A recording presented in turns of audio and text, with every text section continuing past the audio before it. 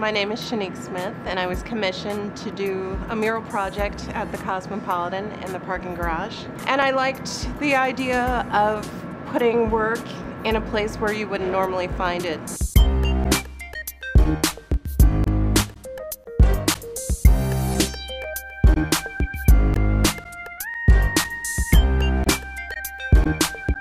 I chose to create something that was somewhat of a portal of text, all with welcoming affirmation to whomever would walk in and out of the doors.